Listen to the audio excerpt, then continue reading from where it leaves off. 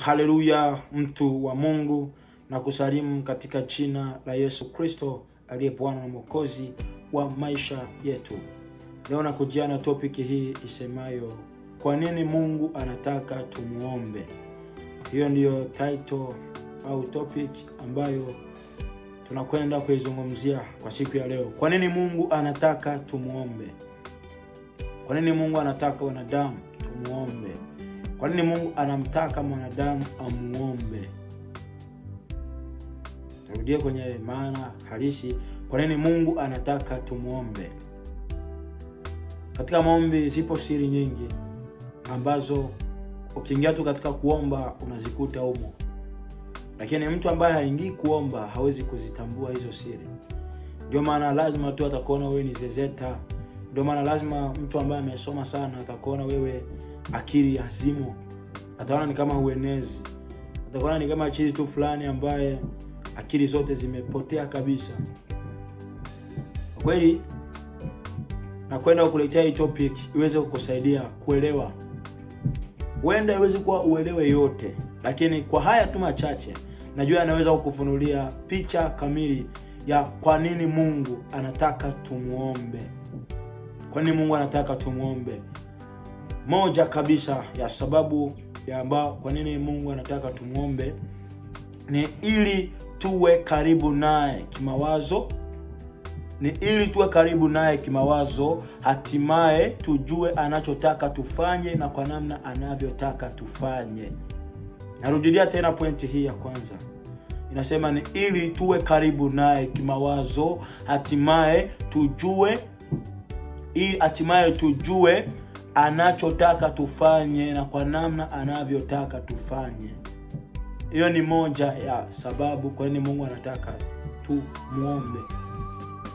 Hiyo ndio sababu ambayo anataka tumwombe.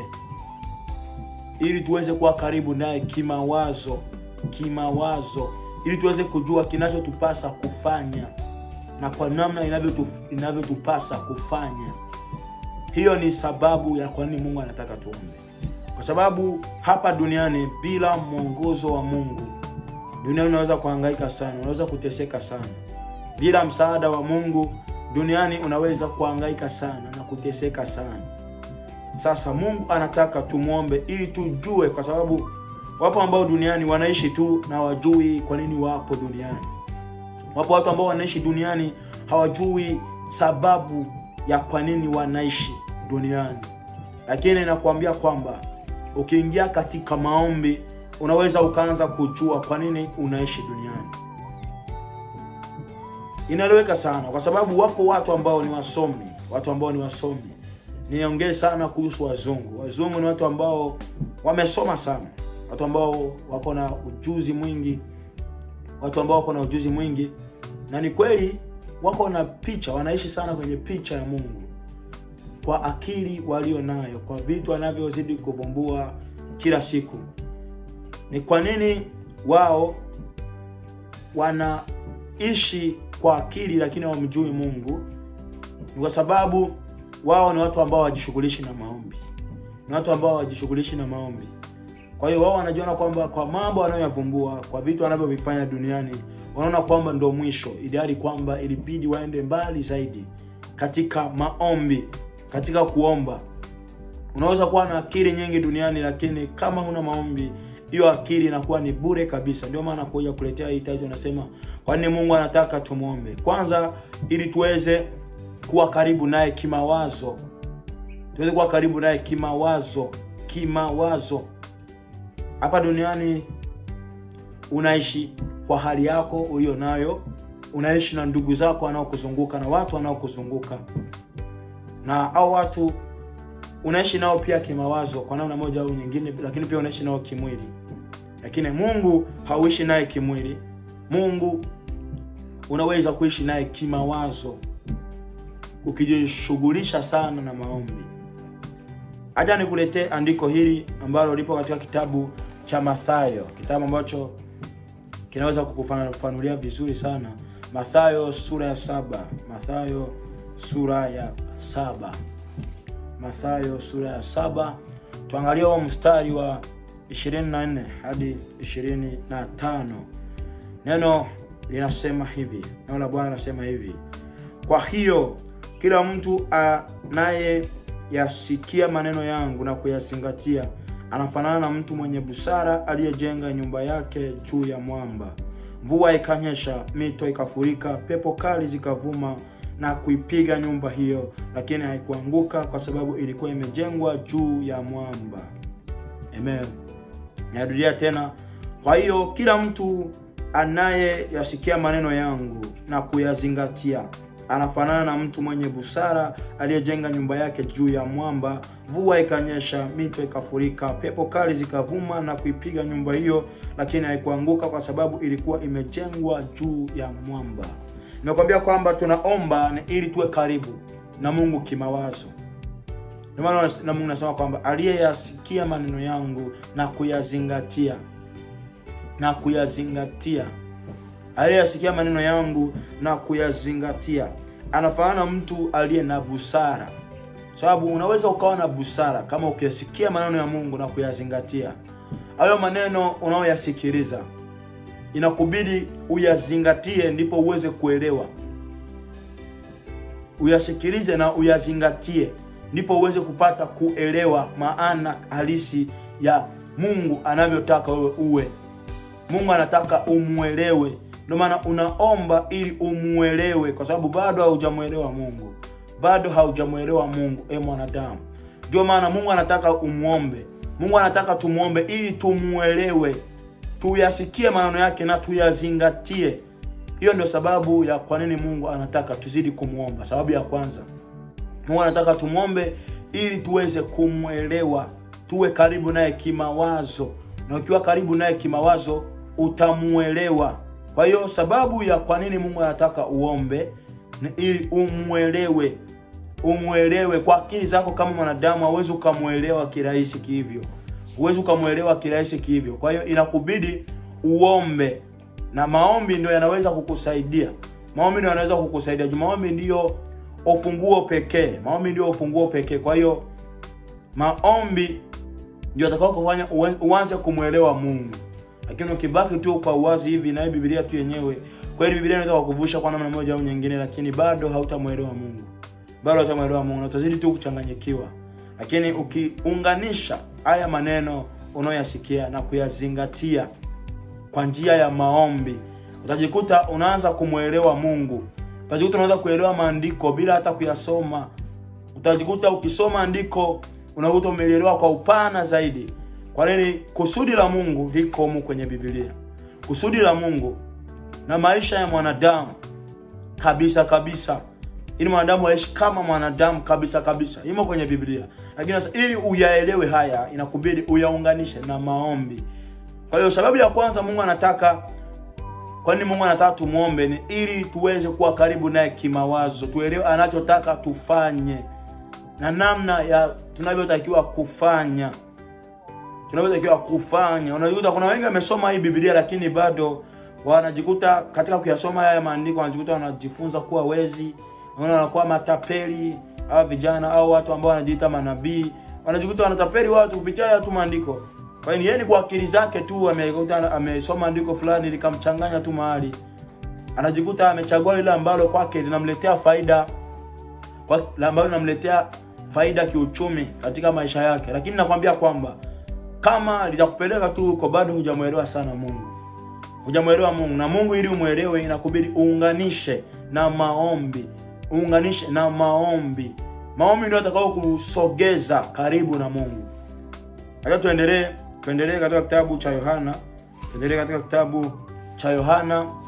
Yohana 9 yohana 9 yohana 9 31 yohana 9 31 nataka nikuelewesha kwani mungu anataka tumwombe. Yohana 9 31 neno la bwana linasema tunajua kwamba mungu hawasikilizi watu wenye dhambi ila humsikiliza yeyote mwenye kumcha na kutimiza mapenzi yake. Haleluya! Yesu asifiwe. Nairudilia tena tunajua kwamba mungu hawasikilizi watu wenye dhambi ila humsikiliza yeyote mwenye kumcha na kutimiza mapenzi yake. Mungu hamsikilizi mwenye dhambi bali humsikiliza mwenye kumcha na kutimiza mapenzi yake ili uelewe mapenzi ya mungu ni, kwa, ni yani ni sharti, ni sharti yani. Yani ni sharti kwako ni sharti yani. Yani nakubidi uwe katika maombi. Hiyo yani huna cha kupinga huna cha kwenda kushoto ama kulia. Ili uelewe mapenzi ya mungu. Ndio nakwambia mungu anataka tumuombe ili tuelewe mapenzi yake. Ili tuelewe anachotaka kwetu. Ili tuelewe anachotaka tukifanye. Ili tuelewe mungu anachotaka tukifanye. Na tukifanye kwa namna gani hiyo ndio sababu ya kuomba. Kwa hiyo mungu hawasikilizi wenye dhambi. Mungu amsikilizi mwenye dhambi bali humsikiliza mwenye kumcha na mwenye kuyazingatia na mwenye kutimiza mapenzi yake. Kama unataka kweli uwe karibu na mungu unganisha sana maombi. Unganisha sana maombi. Unganisha sana maombi. Kama unataka kujua mungu anataka ufanye nini unganisha maombi. Kama unataka uanze kujua wewe kwa nini unaishi duniani unganisha maombi kama unataka kuyaelewa mapenzi ya mungu kwako duniani duniani. Kama unataka kuelewa ma, mapenzi ya mungu kwako duniani mungu anataka ufanye nini? Unganisha maombi. Nakwambia kwenye maombi ndio maana unaona mtu zedheta kuna sababu. Ni kwa sababu yeye aji- ajishughulishi na hicho ambacho unajishughulisha nacho. Ndio maana unaonekana kuwa mjinga. Kwa sababu hauko kama niseme haupo katika hali ya u, yani haupo katika hali ya duniani wewe. Unajikuta uko kwenye hali ambayo haiko hapa duniani. Ni hali ambayo unajiconnect na mungu. Ni hali ambayo unajiconnect na ufalme wa mbinguni. Unajikuta hapo ule ufalme ukianza kusogelea unajikuta unaanza kuelewa makusudi ya mungu kwako. Unaanza kuelewa makusudi ya mungu kwako. Unaanza kuelewa mipango ya mungu kwako. Kwa hiyo tunaomba ili kuweza kuwa karibu na mungu kimawazo tuweze kujua mungu anachotaka tufanye na tukifanye kwa namna gani. Wengi wanakwama kwa sababu wanafanya mambo yao kwa namna wanavyotaka wao. Ndio kinawakwamisha. Mipango ya mwanadamu sio ndio mipango ya mungu. Mipango ya mwanadamu sio ndio mipango ya mungu. Kwa hiyo hiyo ujue kwamba utakwama sana kama hutamsogelea mungu. Utakwama sana kama hutakuwa karibu na mungu. Utashindwa sana kama hautakuwa karibu na mungu kama utakuwa karibu na mungu kama utakuwa karibu na maombi kama utakuwa karibu na ibada utakwama sana.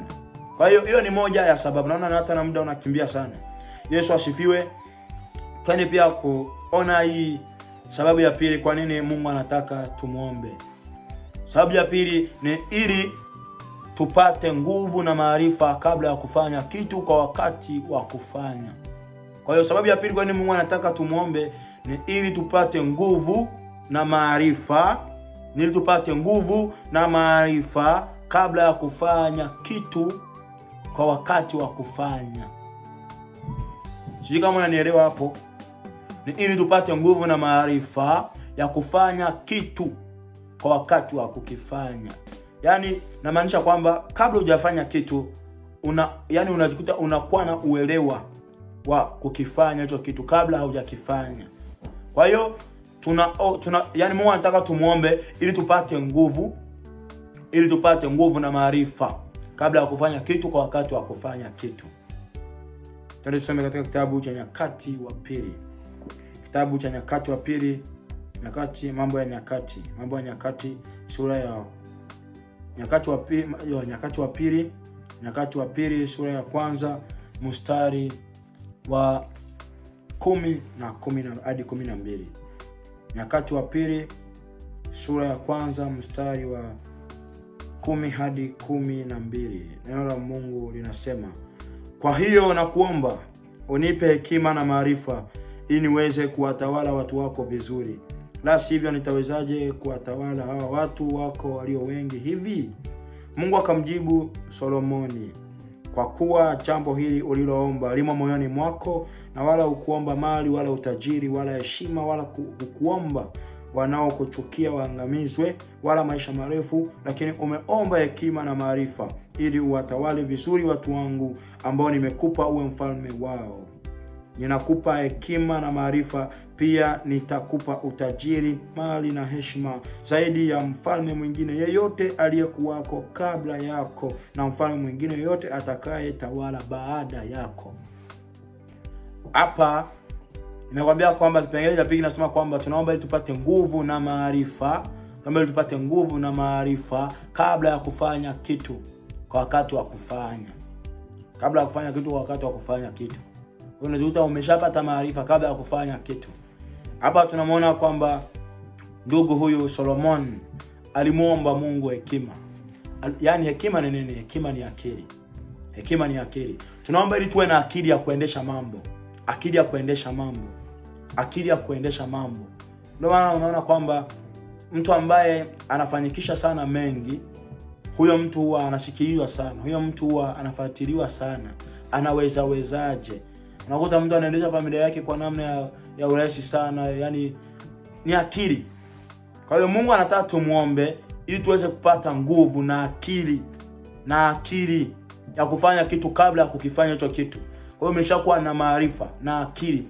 Kwa hiyo tunamwomba mungu ili atuongeze nguvu ya ziada atuongeze maarifa ya ziada. Kwa sababu kwa uwezo wetu sisi hatuwezi peke yetu bali kwa msaada wake tunaweza kwa msaada wake tunaweza. Unaona solomon aliomba tu akili. Sulemani aliomba tu akili. Na hiyo akili aliyoiomba ilimfanya mungu ampatie na mengine ambayo hakuyaomba, kwa sababu utajiri mali vyote hivyo vinakuja kwanza ukiwa na akili. Kwa hiyo akili ndio inakuletea jibu ya yale mengine yote ya kujia yanafanya mungu alete vingine vyote bila hata wewe kuviombea. Kwa hiyo tunahitaji sana akili. Tunahitaji sana akili. Tunahitaji sana akili ili tuendeshe mambo duniani ili tuishi vizuri duniani. Tunahitaji akili. Na akili kamili ipo kwa mungu pekee. Kwa hiyo mungu anataka tumwombe ili tuwe na akili ili tumwelewe ili tumjue. Mungu anataka umjue. Ndugu anza kuomba. Anza na wewe kuomba. Inawezekana sana. Jishughulishe tu na ibada jishughulishe tu na maombi. Inawezekana sana. Na kwako inawezekana. Usijikatae inawezekana kwa sababu mungu ndiye baba yako. Mungu ndiye baba yetu. Mungu ndiye baba yetu ndiye muumbaji. Yeye ndo ni sababu ya wewe kuishi. Yeye ndo alikuumba. Yeye ndiye alikuumba.